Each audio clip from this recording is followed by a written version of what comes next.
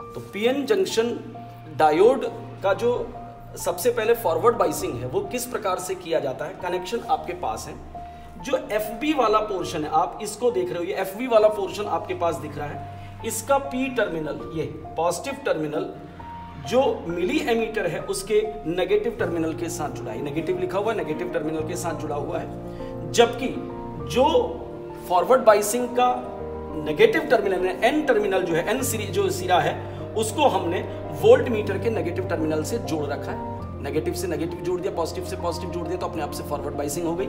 और उसके बाद, जबकि एमीटर और वोल्ट मीटर के दोनों पॉजिटिव टर्मिनल एक साथ जोड़े गए हैं, क्योंकि वोल्ट मीटर जो होता है, वो हमेशा सीरीज़ में जुड़ा होता है। तो वो हमने उसी फॉर्म में सॉरी पैरेलल में जुड़ा होता है, वो उसी प्रकार से हमने जोड़ दिया।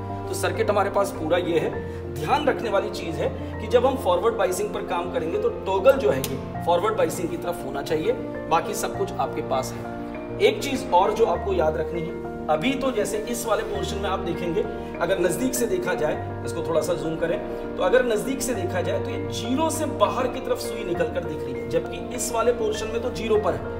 लेकिन इस वाले पोर्शन पर अगर आप ध्यान से देखेंगे तो ये ज़ीरो को थोड़ा सा लेफ़्ट में चले गई है ज़ीरो राइट की तरफ़ चलेगी और ये लेफ़्ट की तरफ़ आ गई है, जो एरर को शो करेगी। तो हमें इसके एरर को खत्म करना है और इसके एरर को खत्म करने के लिए हमारे पास आसान तरीका, वैसे हमें जो यूज़ करना चाहिए वो स्क्रू ड्राइवर यूज़ करना चाहिए, बट हमारे पास जो इस वक्त मौजूद है, उससे काम करते हैं। तो ये जो पेच है हमारे पास, इसको अगर हम थोड़ा घुमाएँ, या अपने नाखून से ही अगर घुमाएँ तो ये आपके पास ये ज़ीरो पर खत्म हो गया अब मैंने इसका ज़ीरो एरर खत्म कर। मैंने नाखून से ही खत्म कर दिया। आप किसी से भी, आप इसको स्क्रू ड्राइवर आपके पास होगा तो खत्म कर सकते तो अब आपके पास ज़ीरो एरर नहीं बची। अगर आप देखेंगे तो अगर आ भी रही होगी तो आप इसको थोड़ा सा, ये ज़ीरो एरर गैप हो गई। आप पूरा प्रॉपरली इसको देख सकते हैं। दोनों की ही सुइया जो है, वो ज़ीरो पॉइंट पर है। तो ज़ीरो एरर नहीं, वो होनी भी नहीं चाहिए। तो जब हम टैली बनाते हैं तो उसमें ज़ीरो एरर के लिए नील लिखेंगे। वहाँ पॉइंट आउट किया जाएगा। अब उसके बाद की स्टेज आप ध्यान करिएगा कि फॉरवर्ड बाइसिंग में हम लोग मिली एम्पियर पर वर्क करते हैं और साथ ही साथ वोल्टेज को काउंट करते हैं। लेकिन उसके लिए हमें सबसे पहले लीस्ट काउंट निकालनी होती है। और लीस्ट काउंट कैसे निकालते हैं? इस पर ध्यान रखिएगा कि जो हमारे पास, देखेंगे ज़ीरो ज़ीरो के पास तीन, फिर तीन के बाद छह, और इस तीन से लेकर छह के बीच में टेन खाने हैं। दस, बीच के ब्लैंक पोजिशन है। इसका मतलब इसकी जो एरर हो जाएगी लीस्ट काउंट जिसे हम लोग कहते हैं, वो थ्री बाई टेन यानी पॉइंट थ्री हो जाएगी। लीज काउंट इसके लिए जो होगा मिली एमीटर के लिए कितनी हो जाएगी? पॉइंट थ्री और बिल्कुल इसी तरीके से यहाँ पर काम करें वोल्ट मीटर के लिए। देखें, यहाँ पर पहला टर्म पॉइंट टू लिखा हुआ है और इसके अंदर भी कितने दस खाने तो इसका मतलब अगर इसका लीज काउंट कहूँगा तो point two upon ten is equal to कितना होगा? पॉइंट ज़ीरो टू क्लियर हो गया? तो जब भी हमारी रीडिंग आएगी, हम वहाँ खाने बोलेंगे। हम उसमें जो खाने होंगे ब्लैंक पोजीशन जो होगी, उन नंबर को बोलेंगे, उसको मल्टीप्लाई करेंगे कितने से? पॉइंट ज़ीरो टू से, और वो रीडिंग के तौर पर लिखेंगे। ऐसे यहाँ पर जो भी खाना हमारे पास सपोज़ दैट वन खाना आ रहा है तो मल्टीप्लाई बाय पॉइंट थ्री अगर चार खाने आ रहे हैं मल्टीप्लाई बाय थ्री इस टर्म को आप लिखते जाएँगे तो आपके पास एक स्केल पूरी की पूरी कहानी रीडिंग की कहानी बनती चली जाएगी। गौर करने वाली बात है कि जब हम इसको घुमाते हैं जब इस एफ़ वाले फॉरवर्ड बाइसिंग के नॉब को घुमाना शुरू करेंगे तो शुरुआती तौर पर वोल्टेज बढ़ेगा। लेकिन जो एमीटर है, उसके स्केल में किसी प्रकार का कोई डिफ्लेक्शन नहीं होगा। और उसके बाद डिफ्लेक्शन की जो कंडीशन हमारे पास आएगी, वो एक स्टेज के बाद आएगी। तो हमें वो रेंज देखनी है कि कहाँ पर जाकर वो स्केलिंग शुरू हुई है, कहाँ पर वो डिफ्लेक्शन स्टार्ट हुआ है। तो आप ध्यान करें, दोनों ही चीज़ें आपकी प्रॉपरली दिखनी चाहिए। जूम करते हुए चलेंगे कैमरे को तो सब साफ़ आपको नज़र आएगा। पूरा ध्यान करें मैं एक जगह पहले रेंज निकालता हूँ। इसको घुमाना शुरू कर रहा हूँ। देखो वोल्टेज बढ़ रहा है। ध्यान करें वोल्टेज बढ़ रहा है, लेकिन ये ज़ीरो पोजिशन पर है। आप इसको वीडियो में देखेंगे प्रॉपरली आपको सब कुछ नज़र आएगा कि यहाँ ज़ीरो बढ़ रहा है। देखो, बढ़ते जा रहा है वोल्टेज बढ़ते जा रहा है, लेकिन ये कुछ भी नहीं हो रहा है। और कहाँ तक जाकर, किस रेंज पर जाकर आपका ये बढ़ना शुरू होगा, ध्यान करिए, ये पॉइंट अब बढ़ना शुरू हुआ। जब ये आपके पास राउंड अबाउट पॉइंट थ्री से दो खाने आगे गया पॉइंट टू के बाद चार पॉइंट फोर के करीब पहुँचने वाला था तो जब वहाँ पहुँचा, तब जाकर ये हिलना स्टार्ट हुआ है। अब कहा मैक्सिमम लेवल तक जा रहा है इसको देखना। एक मैक्सिमम लेवल पर वोल्टेज पहुँचने के बाद ये जो करंट होगी, वो लास्ट स्टेज पर पहुँच जाएगी। तो यहाँ ध्यान करना, जो आपकी यहाँ पर मिली एम्पियर की आपकी रेंज है, वो ज़ीरो से लेकर 15 तक है। ये पॉइंट दिमाग पर रखकर चलना, जबकि वोल्ट मीटर की ज़ीरो से लेकर 1.2 तक है। तो यहाँ ध्यान करें, मैं इसको बढ़ाते जा रहा हूँ और यहाँ करंट भी अब बढ़ रही है और एक स्टेज पर वोल्टेज जो होगा, वो बढ़ना रुक जाएगा एक पोजीशन पर और करंट बहुत तेज़ी से आगे की तरफ़ बढ़ेगी। अब यहाँ गौर करें, ये देखो, ये अब रेंज को क्रॉस कर गई है। पॉइंट सिक्स से दो खाने आगे चले गए। तो यानी किस रीडिंग पर मैंने यहाँ पर आपको बताया था पॉइंट है। और ये पॉइंट सिक्स से दो खाने आगे चले गए, इसका मतलब पॉइंट सिक्स टू और इसके आसपास पहुँच गया। Multiply by point zero three point zero two कर देंगे तो उतनी रीडिंग पर ये करंट क्या हो जाएगी? मैक्सिमम तो आपने जब स्केल बनाना है, जब प्रॉपरली प्रोसेस करोगे तो आप एक एक पॉइंट पर, यानी छोटे छोटे पॉइंट पर कि दो खाने बढ़ाए तो ज़ीरो थी, तीन खाने बढ़ाए तो ज़ीरो थी, चार खाने बढ़ाए तो एक लेवल के बाद आपकी स्टेज चेंज हो जाएगी और आपका फ़र्स्ट स्टेज तैयार बन जाएगी। तो यहाँ अब आपने ध्यान रखना है कि जब आप इसका ग्राफ बनाएँगे तो आपके पास ग्राफ क्या होगा वैसे तो हम टोटल ग्राफ बनाते हैं उसका एक साथ तो ग्राफ आपके पास क्या आएगा? शुरुआती तौर पर ये वोल्टेज है आपके पास, ये फॉरवर्ड करंट है आईएफ में बन रही है तो इनिशियली ये धीरे धीरे आगे की तरफ़ बढ़ेगी और यहाँ से उठना स्टार्ट किया है। एक लेवल तक उठते चले जाएगा, फिर उसके बाद तेज़ी से बढ़ जाएगा और सेचुरेट हो जाएगा। तो ये इसका पहला कर्व होगा। अगर आप इसको ध्यान से देखें तो ये आपके पास पहला कर्व आएगा कि वोल्टेज की तरफ़ शुरुआती तौर पर वोल्टेज बढ़ा रहे थे करंट नहीं बढ़ रही थी करंट अपनी जगह पर थी। लेकिन एक लेवल के बाद ये करंट इतनी पहुँची है, फिर थोड़ा सा और। यानी हर एक छोटे छोटे पॉइंट पर वर्क करना है, जिससे अल जो कर्व होगा, उसका हर एक पार्ट आपको नज़र आए। एग्जैक्ट पार्ट नज़र आए और एक जगह पर जाकर ये स्ट्रेट सीधे बढ़ जाएगा लीनियर हो जाएगा। और वैसे अगर हम दिखाना चाहें तो वो कांस्टेंट सैचुरेटेड होता। वहाँ पर हम उसको एंड कर देंगे। आई बासन में इतनी बात क्लियर हो गई?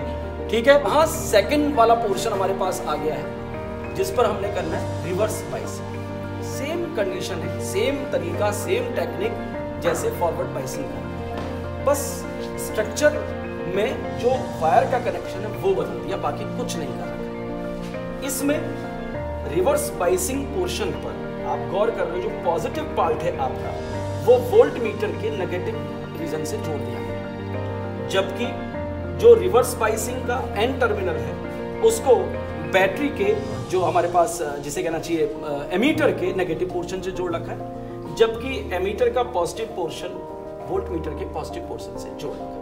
ये एक कंप्लीट कनेक्शन हो गया रिवर्स बाइसिंग सबसे पहले तो आपने ध्यान रखकर चलना है कि जो आपके रीडिंग निकालने के लिए जो फॉरवर्ड और रिवर्स बाइसिंग के पोर्शन से नॉब जो है, उनको ज़ीरो पॉइंट पर रख लेते हैं। नंबर नेक्स्ट जो सबसे ज़्यादा इंपॉर्टेंट है, कि जब रिवर्स स्पाइसिंग कर रहे हो तो रिवर्स स्पाइसिंग टोगल को रिवर्स स्पाइसिंग पोर्शन पर रखना है। और यहाँ पर भी जो नॉब है, उसको भी रिवर्स स्पाइसिंग पर रखना है, क्योंकि अंदर के कनेक्शन तभी वर्क करेंगे जब आप इस प्रकार की प्रोसेस करेंगे। इसके बाद पावर को ऑन कर देते हैं। यहाँ पर आप साफ़ देख सकते हैं, इसको जूम करके देखिए, कि जो माइक्रो एम्पियर का सुई है निडल जो है, वो भी ज़ीरो के जस्ट ऊपर है। और यहाँ पर भी देख सकते हैं वोल्ट मीटर में भी जो निडल है, वो जस्ट ज़ीरो पर स्थित है।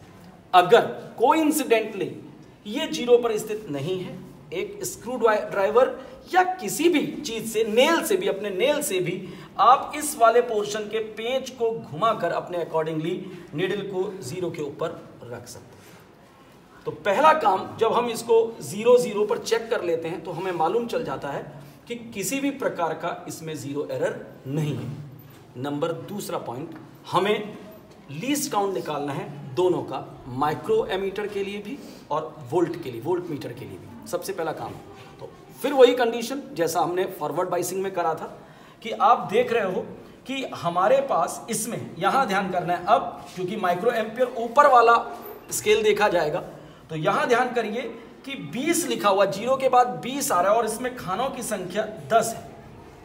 आरिवासन में? तो इससे अगर हम इसका लीज काउंट निकालेंगे तो टेन बाई ट्वेंटी जो हमारे पास होगा तो वो सॉरी ट्वेंटी बाई टेन करेंगे तो ये हो जाएगा टू और इसी प्रकार से यहाँ पर भी आप लेकर चलें कि पाँच हमारे पास है और टेन है तो फाइव बाई टेन कर देंगे तो वन बाई टू यानी point two point five sorry point five हमारे पास इसका लीज तो इसका पॉइंट फाइव लीज काउंट आ गया और इसका मैंने बता दिया टू आपका लीज काउंट आ गया।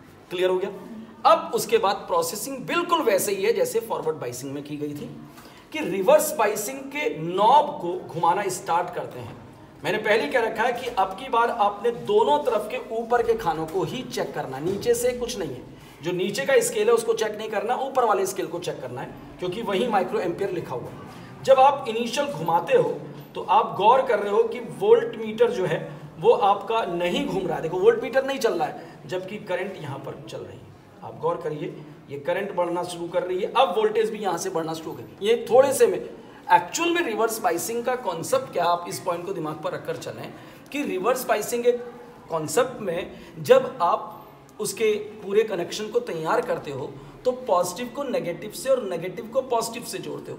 और ऐसी दशा में उसकी डिप्रेशन रीजन बढ़ते चले जाता है, जिसके कारण इंटरनल इलेक्ट्रिक फ़ील्ड भी बढ़ जाता है। अब इलेक्ट्रिक फ़ील्ड को अगर बाहर से इलेक्ट्रिक फ़ील्ड सपोर्ट करना शुरू कर दे तो ऐसी दशा में जो इलेक्ट्रॉन और होल्स थे जंक्शन की ओर ना जाकर जंक्शन से पीछे की तरफ़ हटना शुरू करते हैं। पॉजिटिव वाला नेगेटिव बैटरी के टर्मिनल की तरफ़ और नेगेटिव वाला पॉजिटिव बैटरी के टर्मिनल की तरफ़। और साथ ही साथ अंदर जो कॉम्बिनेशन बन चुके थे काउंटर पार्ट्स के, वो भी टूटने के लिए तैयार हो जाते हैं। और एक ऐसी वोल्टेज हमें मिलती है, जिस वक्त वो बहुत तेज़ी से एब्रप्टली वर्ड का यूज़ किया गया, तेज़ी से इलेक्ट्रॉन होल टूट जाते हैं। तो जिस वोल्टेज पर वो टूटते हैं, उसको हम लोग या तो ब्रेक डाउन वोल्टेज या नी वोल्टेज या एवलोन्स वोल्टेज कहते हैं।